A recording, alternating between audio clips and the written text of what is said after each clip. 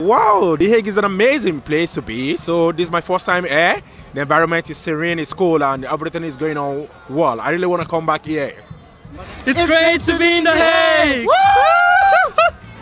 yeah, it's not too warm, not too cold, it's just great. And it has a great, great buildings, you know, with great architecture. I like it.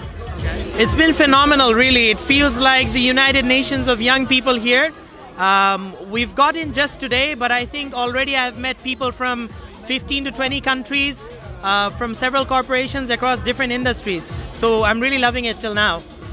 Uh, well, I arrived just uh, today. It's been uh, amazing. Uh, weather is nice, uh, people are nice, and the town looks amazing. I mean, I have been here only a few hours, but I like it already. So.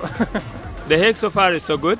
I would say the weather, first of all, has uh, welcomed us.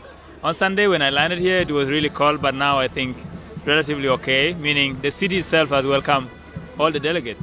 And it's a cool city, nice people, peaceful people, and good environment.